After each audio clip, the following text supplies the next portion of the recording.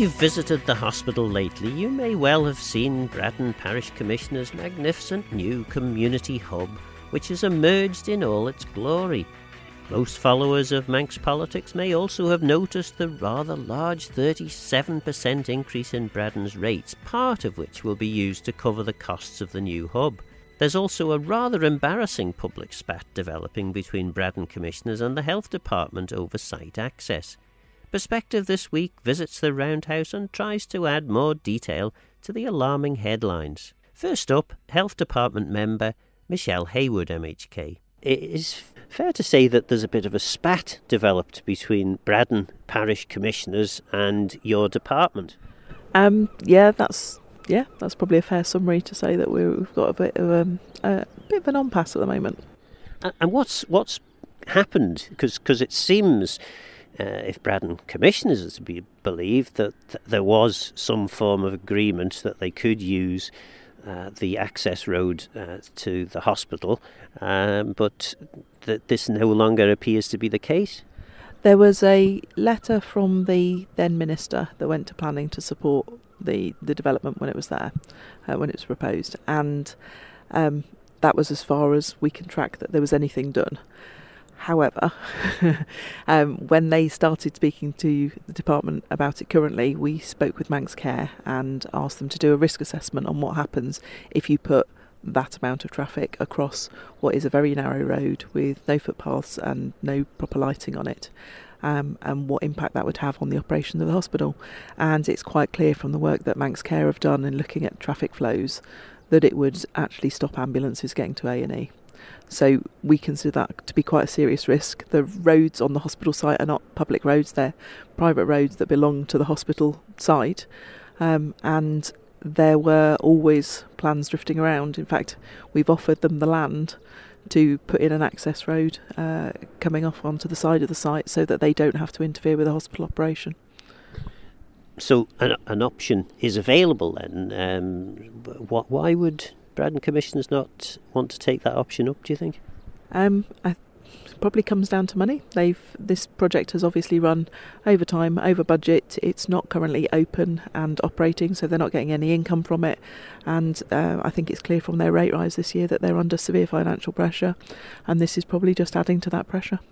Is it possible that some form of compromise, at least short-term solution, can be found to allow the uh, Braddan commissioners to at least begin operation, um, provided maybe there's a clear understanding that they do uh, create a, an alternative access point. I think the danger there is there's nothing as long term as a short term fix, is there? Um, and if we've assessed that there's a risk to people not being able to get in to access vital services at Nobles Hospital, that risk persists whether it's just for a month or a year or whatever. It, it, all you'll do is start affecting more and more people. So I, I personally, I'd be against finding any short-term fix that does that. The, the, actual fix is to create a proper access for it and to put in the pedestrian access that was in the plans as well. Um, and those things are what they need to do to get that building open properly. So how? I mean, it it it, it does. Uh, there are plenty of uh, public uh, projects um, that. Uh, you, you you have to scratch your head and wonder how and why. Uh, this does seem to be one of those. Uh, if the, if the minister was prepared to put in a letter of support, uh, presumably it was the, the previous minister, um, then then uh, would they not have thought to put in or to have undertaken some kind of risk assessment at that point? Well, yeah, obviously, when planning goes in, highways are obviously a, a statutory consultee on, on that as well. Um, the car park was planned to be larger than it is. There's not enough spaces there, so we're worried about the impact on Palatine Health Centre um, and their car parking facilities, and then people being able to access that health centre. Um, but yeah, it was a former minister that just expressed support, but I don't think it had really been thought through um, what he was supporting, and certainly none of the risk assessments have been done. And can you see, maybe from Braddan Parish Commissioner's point of view, that they would have seen a letter of support from the minister as, um, you know, the green light that yes, the minister was behind this and the department was behind this? Um, I can see why they thought that, but actually they won't have thought that because this has been on the department's radar now for well over a year, probably near a year and a half. So they have known for much longer than the last few weeks, which is where it's obviously hit the media. They've known what the issue is for for quite a while now. That we had um, real concerns over letting them have access through the hospital site. That road is not in good condition anyway. It's obviously not highway, so we can't even throw it at DOI and say improve the condition of this road. It's a private road on the hospital site. I had a tour of the building with long standing Braddan Commissioner Andrew Jessopp, and I must say it's very impressive. Well, we are in what will eventually be a 100 uh, cover cafe. So it will be the usual sort of uh, cafe ambience during the day, and there's an opportunity for the um, the tenant to actually hold sort of uh, you know like well run it like a bit of a restaurant in the evenings if they want. Um, then, as you can see, you know. Um, well, you can and I can, but obviously we've got this glazed area to, to the front that overlooks uh, a children's play area and then fantastic views towards the south. So you know it's a bit of a sun trap. So in the in the summer it will be you know a glorious place to come and relax and chat and do business or whatever. And we're now in the sports hall. Uh, it's a yeah very impressive. Well, we've had an awful lot of compliments from the users that have already made uh, use of the hall, whether they're um, volleyball, um, badminton. Obviously, there's loads of youngsters coming in to play uh, football. So yeah, you know, we've been inundated with with people wanting to make bookings. So yes, you know, all these people that are saying, why did we build a sports hall when there's the NSC just down the road? Well, they only have to come and see how many people are, uh, are using our facility already. And the, the clubs, presumably, um, that, that, are booking here are clubs that couldn't find space at the uh, NSC? Yeah, well, you know, we've heard of um, clubs actually training in farmers' barns because they couldn't get access to other facilities in, in the east. So, yeah, you know, we are not taking or in competition directly with the NSC. We are, you know, taking some of their overflow um, and also providing for additional sports as we go along. Uh, and where have, where have we got to now? Well, we're next to the uh, soft play area, which uh, um, is going to be for sort of toddler, toddlers um, more than uh, sort of grown up uh, children. And this area is adjacent to the cafe, so if mum's sort of having a cup of coffee and a chat with her friends, you know, she knows that, uh, you know, in safe viewing distance, her kid could be sort of in there having a good fun and, and uh, play around with a load of other kids in in in safe uh, and uh, nurturing environment. And then across from here, there's there's more uh, stuff. I mean, there's there's just so many bits and pieces to this uh, place, isn't there? Yeah. Well, we have the beauticians um, to the right, and then there's going to be uh, therapy rooms. There's the entrance to what will be the pharmacy which obviously, as far as Palatine next door, and obviously from a dispensing point, you know, you can't you can get a, prescription given to you in the hospital, but uh, you have to go to somewhere else to go and get it uh, prescribed. So people can be literally walk out of the door at the hospital and come, you know, five minutes down the road, and they're in to the pharmacy here at the Roundhouse. We did a value engineering exercise before we started work and one of the areas that, that sort of lost out in that exercise was the rotunda, and effectively two metres was taken out of the centre of the building. So, although you know you can see that um, we have quite a, a, a, nice space in here, um, it was going to be a lot bigger than it is now. and and it's not just here. There were other parts of the building that have reduced in size, are there? Yeah, the whole massing of the building has, has been changed. Um, so, yeah, it, it's a little bit more compact and it's been moved a little bit further away from Harold Cottage, so giving them a little bit more privacy. So, yes, it, it's not as though we just threw money willy nilly at this. You know, we did seriously think about it throughout the whole process as to how we could actually make sure that this represented best value for money for, for the ratepayer, but, but still produced a fantastic facility for the future. We all know how difficult it is at times to get a dentist. Yeah, it would be fantastic if the uh, dentist here was both private and av- available to uh, NHS patients. Yeah, well, we have the rotunda, which um, we are able to use as our uh, meeting room for board meetings if we're expecting a large audience. Um, but it's also available for hire for people to hold their own meetings. We've already had quite a few people uh, booking it for things like Pilates or yoga um, for uh, people, and uh, you know there will be a possibility in the future for weddings um, and other sort of small conferences. Then, adjacent to the rotunda, we have the Baby Sensory Hub, which has been inundated by people since uh, it's been opened. It's been very popular.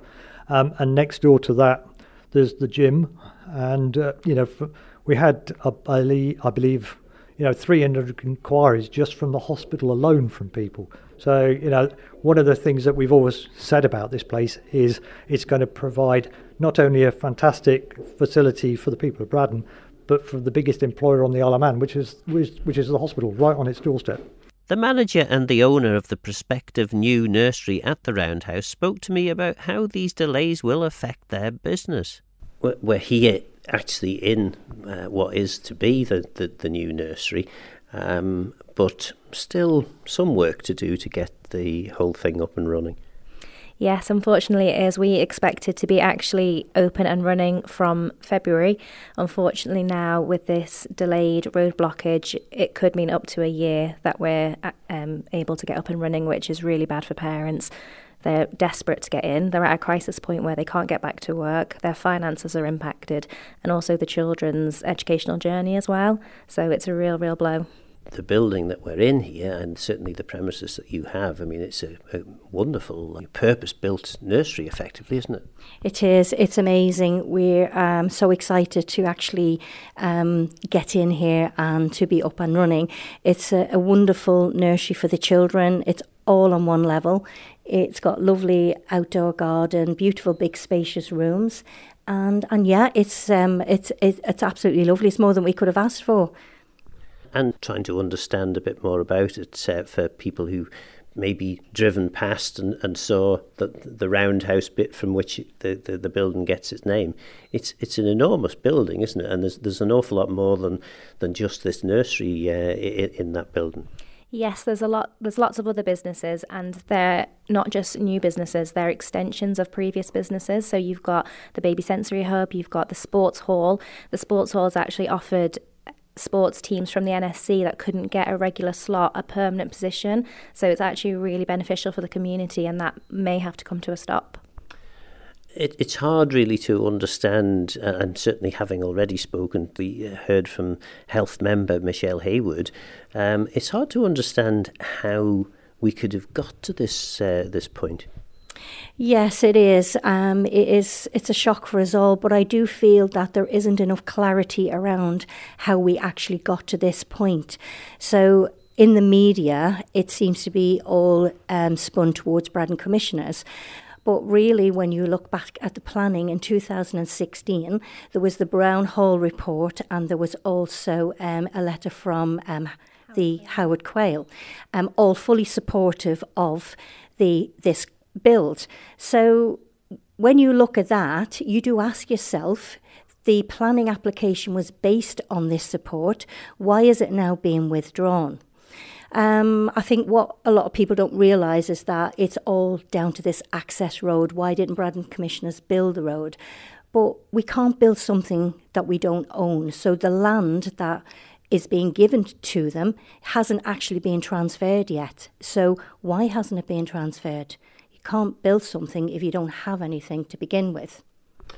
Indeed, indeed. And, and in terms of the impact, I mean, presumably it's not just your business. There must be lots of businesses that are going to be impacted uh, by this. But uh, from, from your own business, I mean, not opening in February, um, you still have costs that you have to meet and places uh, that you are unable to to, you, to, to supply for, for parents who are looking to to um, to get their children into a nursery. Mm-hmm. Yeah, that's right. We've really kitted this place out. We see it as a nursery of the future. We have added so many extra design elements into it to make sure that it's a really lovely educational space for the children, but also for the staff to work here. We've t- we're very experienced in this area. We know what nurseries need to run smoothly, and so we've gone to a lot of additional cost to make it the nursery that it should be. And unfortunately, if it doesn't get up and running soon, it is going to have a, a terrible impact. That was the owner and the manager of the new nursery at the Roundhouse. There'll be a lot more from Braddan Commissioners Chair Andrew Jessopp after the break when we explore the politics of the development in much more detail. You're listening to Perspective, and we're talking to Braddan Commissioners Chair Andrew Jessopp. So I was always uh, well aware of the fact that the land at the Strang Cornerfield had been promised to the commissioners um, for the purposes of community facilities. So, as in fact, part of my um, manifesto in 2004 was um, that we ought to use the land that we'd been uh, offered um, to provide the community facility that it was being provided for. So um, we then went to um, draw up a scheme in 2005. Um, we got to the petition stage. The proposal was something along similar lines to what we've got here today. But um, even from that day, um, it was known that the only way to access this site was using hospital roads. And uh, an agreement in principle was arrived at at that time that that's the way that we would get into the site. Agreement in principle uh, back in, when, when are you saying now? Um, back in 2005. Okay, so move on 19 years. Um, how has an agreement in principle not moved any further than that?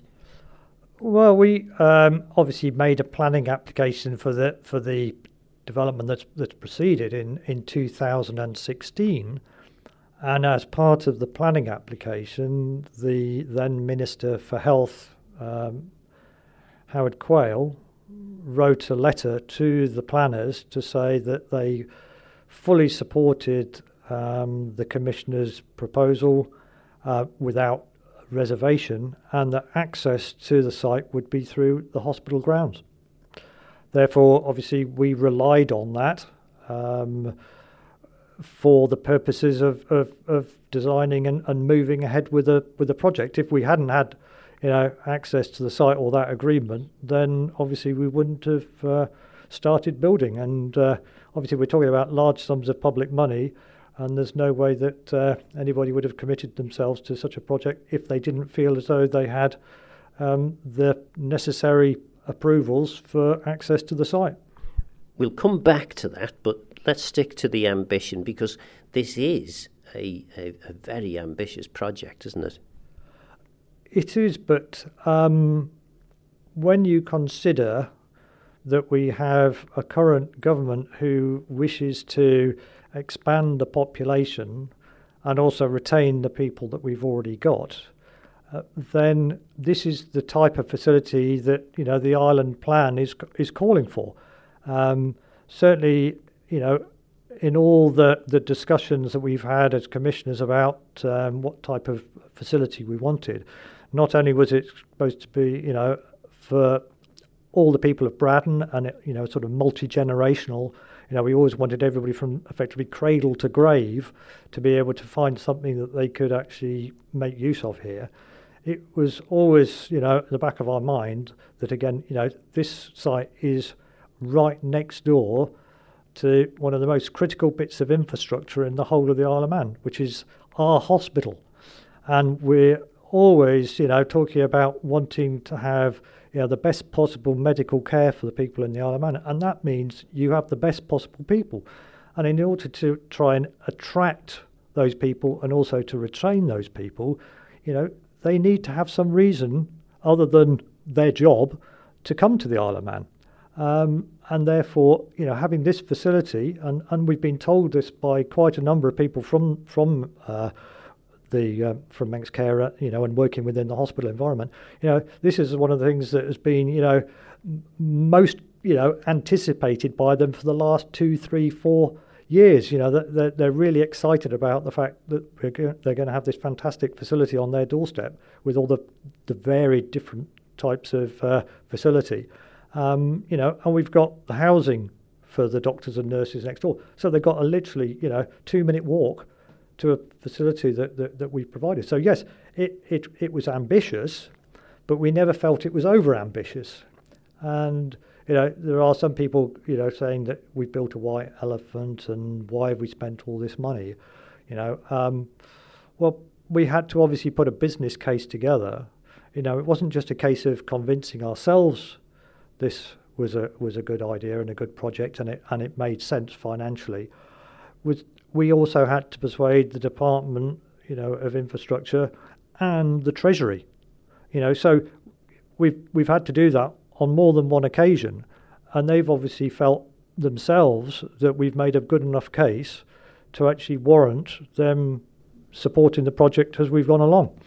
And indeed, I remember as infrastructure minister back in 2016, uh, quizzing the commissioners over this and asking quite some, well, I would hope anyway, searching questions about why the commissioners felt this was necessary and uh, uh, how it was all going to work. So uh, that that is a, perhaps a part of uh, local government that um, many listeners wouldn't really understand. But the, the, the process for a local authority to borrow money is quite an elaborate one and requires a, a lot of central government scrutiny. Yeah, you know, it's a robust and rigorous um, system, as you say, of scrutiny. So, you know, it wasn't as though the the figures etc. were done on the back of a fact packet. You know, we, we had to put you know a lot of time and effort into coming up with how much it was going to cost, how much we felt that we could generate in terms of income, and we were, you know, in our in our mind, we were very conservative in what we thought that we could actually raise in income. But at the same time, you know, we never wanted this to be a a burden on on the ratepayer. Yes, you know, um, there will be a contribution to the cost of running it. However, you know, it was never our intention to to actually, you know, make this a what has turned out in the last year to be, you know, rather a contentious subject in terms of our rate setting for the next uh, year or so. You've certainly hit the headlines when it comes to rate setting, haven't you? Yeah, we, we have, but um, what might interest people, those people that are complaining that we've increased our rates by the best part of 37%, in a meeting recently with the Minister for Treasury, Health and Infrastructure, we were actually told that we should have doubled our rates for next year. So, you know, we feel that uh, 37%, you know, that, that was uh, more than sufficient for what we felt at the time was needed.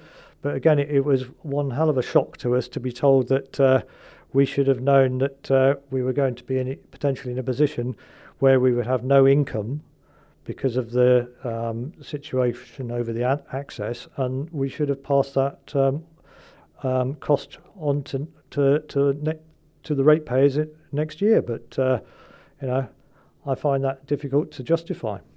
So, so effectively, because uh, I had perhaps maybe uh, unwisely that it, it appears uh, assumed that the 37% uh, increase in rates uh, was as a result of this little uh, spat with government and you recognizing that you weren't going to get quite as much income as you originally anticipated. But this is this is the, the, the lost income that's likely to result if, if an agreement can't be reached, reached that hasn't been part of the budget uh, setting for, for the rate setting for this year? We've made um, some provision, but uh, we obviously felt that the negotiations we were having with Manx Care, as opposed to the, with the department, were proceeding well, and that uh, we would get to a position whereby we would satisfy any uh, concerns from Manx Care in terms of uh, um, access and, and egress from the site without causing any undue uh, problems for the emergency, you know, sort of the ambulance service. Um, and we've done that by obviously coming through West Drive off Ballaroach Road rather than from the main entrance, so we don't cross the route of, of the ambulance. That was one thing. And we've also been working closely with, um, you know, hospital estates to address some of the concerns about uh, pedestrian uh, access um, and vehicle access to the site. So, yeah, we thought that we were moving towards, you know, a, um, a satisfactory satisfactory resolution of these problems, and that the um, objections to using the roadway would, would be removed, and we would be, as I say, fully operational by Easter. the moment, we're still in that that bit of limbo because we obviously currently still have that threat of um, our access being blocked by some means rather from the 4th of March. And as we've already seen from the, the tour of the building, uh, you already have tenants uh, operating in the building. Um, and you have prospective tenants keen to to operate. And, and perhaps I shouldn't have said tenant uh, because uh, you can't give tenancy agreements at the moment. Uh, you're giving uh, licenses, I think. Yeah, that's been the the way for those that felt that they could operate without um, having uh, vehicle access, was to, to offer them in the interim um, a license to operate. Um, however, yes, there are issues with uh, two of the main uh, potential tenants, in that they also that well, what you know, one in particular needs the tenancy arrangement in order to get registration for their business, and that obviously um, is at the moment you know a difficult situation for them to be in, um, and yeah, obviously we feel as though we're doing everything that we can to um, improve the situation so that we can offer them the, the tenancies. You know, we we have, in our opinion, we, you know, we're the ones that have bent over backwards. We've agreed to to expend ratepayers' money on uh, addressing infrastructure concerns uh, regarding the hospital, and and it's worth uh, noting that in back in 2016, um, a uh, traffic assessment and parking assessment was um, commissioned by, um, I believe it was Manx Care, to look into the problems on on the um, hospital site in terms of, as I say, trans- tran- transport and uh, um, parking. And a number of recommendations were made in that report, and eight years later, most, if not all of those, to my knowledge, have not been implemented. So that would have been at that time the Department of Health um, rather than Manx Care, because that's obviously only come into being uh, fairly recently. Uh, so yeah, so that's eight years of, of inaction on the department's part. Perhaps then that explains why back in 2016 the minister felt, I mean, you know, I, I suppose we're speculating here, but maybe this is why the minister felt that they could they could support this uh, this project. Well, that that may have been so. Uh, certainly, Minister Quayle you know, pointed to the fact that, that it was well known that there were parking issues on uh, the hospital site. You know, so to be honest, it would be crazy to block an entrance to our site and the 70 car parking spaces, um, you know, because those people are likely to still uh, drive on the hospital road and then try and find a parking space in other car parks within the hospital. Um, so, yeah, that, that would be, uh, in our view, you know, adding to the risks rather than diminishing the risks. Uh, Michelle Haywood, when I interviewed her, and we obviously we listened to her at the start of the program, um, said that the number of parking spaces that were in an initial um, version of this uh, project had been reduced. Is is that the case? I think we're talking about four or five parking spaces, and since the uh, um, revised uh, planning application went in, I think we've gained one of those back. Um, but you've got to bear in mind that during the planning stage, it was agreed that the largest volume of users would be coming to the site in potentially in the evening and at weekends when the uh, large proportion of, of the hospital um, uh, clinics etc wouldn't be um, operating, and therefore, you know, we've already had, you know, an agreement to use the spaces in the Palatine uh, in the evening. There was also mention in the um, statement of case that supported the planning application for the new um, roadway that um, we would have access to next door as well, which has got another 73 parking spaces, which was more than uh, the estimated amount for the maximum, you know, usage of our site. So, you know, yes, there there are during daytime, um, you know, there will be pressure on parking spaces, but uh, to say that that alone is a reason for objecting to us using their roadways is is I think um, slightly spurious. In terms then of, I mean, you are famously a, a, a green politician, um, a big supporter of the, the Green Centre and uh, various other uh, such things. Um, presumably, the, some thought has been uh, put into use of public transport to access this site. Well, we effectively have buses running past the site, um, you know, on a half hourly basis. Um, and therefore, yeah, the hope was that uh, you know quite a number of people would use the bus service to get here. Obviously, um, there is an active travel um, policy that, that's supposedly being promoted by DOI and government to actually try and encourage more people to cycle or walk to places. But obviously, we recognise that this facility will be used by people that are coming from slightly further afield and therefore, you know, the bus service might not be convenient for them, um, and they're not about to try and uh, walk from Port Erin. So, um, yes, there will be a certain number of people that come here by car.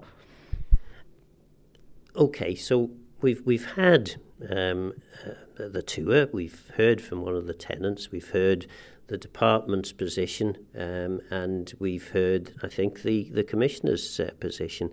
Um, many people around the island will be thinking, for goodness sakes, this, you know, there must be a way in which politicians can sit down together and um, come up with a, a pragmatic solution that works for everybody.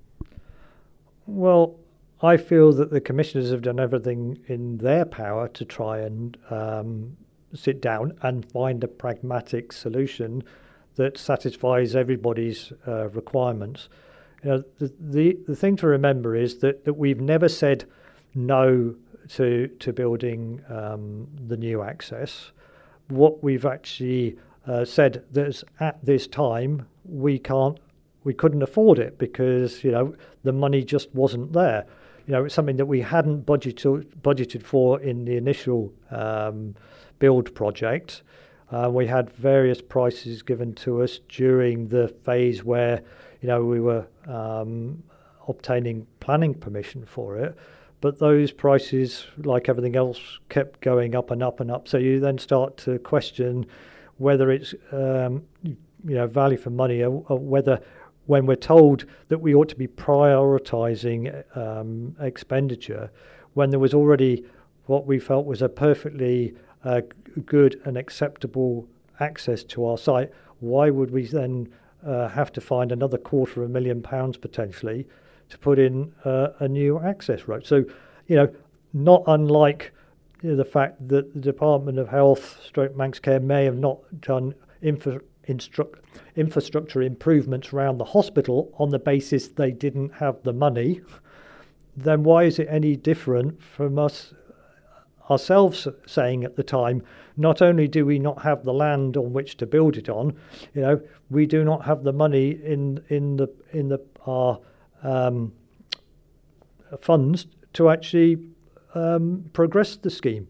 And we asked for support at the time. We asked for, you know, what we felt, you know, in the grand scheme of things was a fairly minuscule amount of sixty thousand pounds from the department to contribute towards um, the scheme. And at, to be honest, it was at one stage that it was a member of uh, uh, Manx Care that had said because it, it was uh, for our mutual uh, benefit uh, to have the new roadway, it was them that suggested perhaps it ought to be a jointly funded scheme. So it was only later, you know, after we'd said on that basis, yes, we we proceed. That you know we were told um, in August that um, the only contribution that the department would make would be the uh, tr- the transfer of the land, um, and that there would be no money whatsoever towards the actual cost of putting in the roadway. Therefore, faced with that um, situation whereby we still didn't have control of the land, um, we didn't have any offer of, uh, of uh, help towards the, the financing for for it.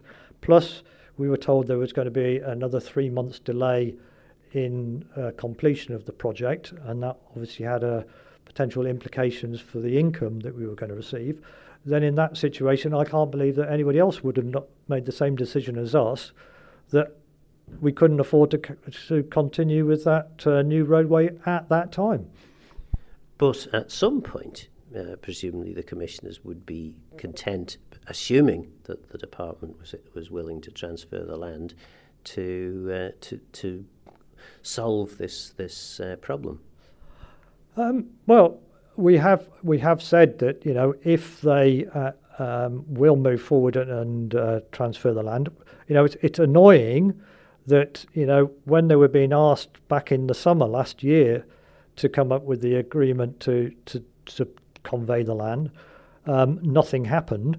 Um, you know, had that been progressed then, um, and we had been told uh, formally that um, without the new uh, road access, access otherwise would be denied, then that might have changed the situation and we might not be in the situation we are now. But the reality is, you know, back in August, we were uh, we were getting nowhere uh, forward in terms of getting access to the site, and um, we were also not getting an answer in terms of you know whether or not we would have um, any problem accessing the site from what was the originally approved um, entrance. You know, the question was put, and when it was put to the minister, why didn't he tell us? He said, "Well, I didn't have to." Okay, that's a, an interesting answer. Uh, so, so you met with Minister for Treasury, Minister for Health, and Minister for Infrastructure.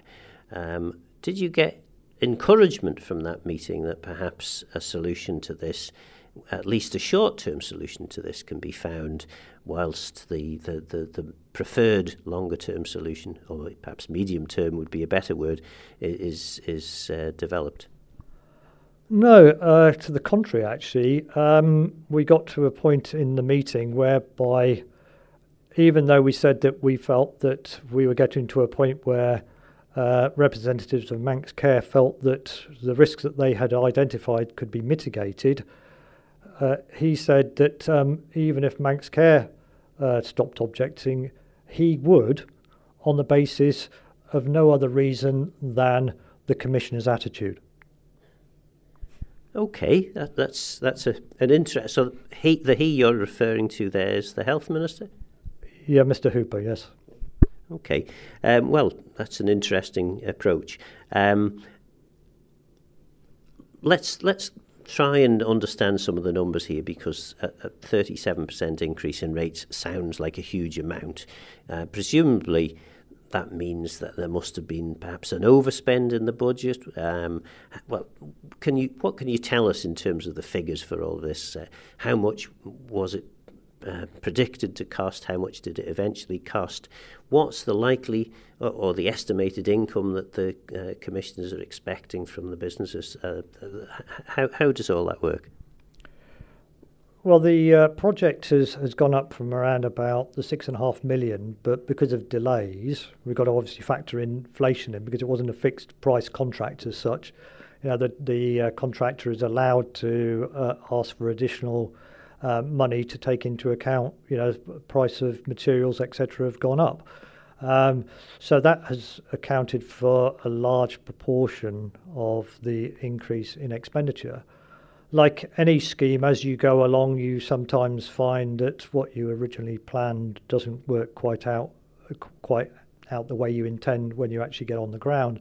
So there have had to be some design changes t- uh, to it to accommodate uh, some improvements to the security of the roof, which probably was a good idea given the storms we've had recently, and that's been well tested and didn't blow away. Um, the commissioners themselves decided that uh, there was a few things that we'd actually taken out during the value engineering stage that probably, um, on reflection, would have been better to have kept in, such as the uh, seating um, area, the pull-out seating that is, and also we added the um, the solar panels on the roof, but that only accounts to to a small percentage of the increase in the overall spend on the project. Um, there have been obviously tenant, you know, prospective tenants that have said, yeah, we'd like to um, uh, hire the space. However, we want some changes done to the original plans.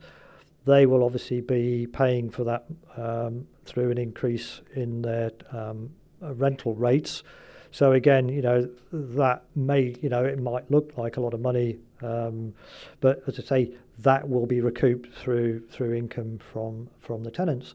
Um, but as you will know well yourself from being minister for uh, infrastructure, the way that we operate capital projects over here, you know, there are certain rules that the commissioners have to work to, and when it comes to things like fees, etc., you know, we're rather stuck in a situation whereby we, if the project goes on for longer, you end up paying more, you know, uh, and which actually seems to most people as quite perverse because you would hope that the incentive should be to uh, to get the project delivered on time. You would you would think that, but obviously under the scheme that we have, if the contractor can come up with a justifiable reason for why the project has been late, delayed, then the project uh, length gets extended and you know it keeps moving further and further into the distance. So this idea of people saying why aren't you charging people penalties? Well, the penalties only come in when they exceed you know um, the period at which the the project team has said is no longer reasonable. But you know, so far, you know, all their their compensation events have been approved by the project uh, um, manager, and therefore, yeah, we obviously have to pay on the basis of they were justifiable increases in cost. So the 37% increase then, uh, we've got, only got a few minutes left now. Um, how does, how, what, what are the ratepayers of Braddan paying for uh, in relation to that? It won't be all this, this uh, building, will it? No, because obviously, like every other authority that have had, you know, quite a lot of them have had to increase their costs quite dramatically. Um, you know, there are costs in terms of, you know, uh, salary uh, increases because of pay, pay rises. Then there's obviously increased charges, as everybody knows, from the um, disposal charge for the incinerator. Um, and, you know, just general inflationary costs. Wherever possible, we've, we've tried to trim back on uh, a few areas. Um, we've had to put the DOI actually on notice that we may not be do, uh, carrying, conducting any more of the transferred services um, next year because we just won't have the money.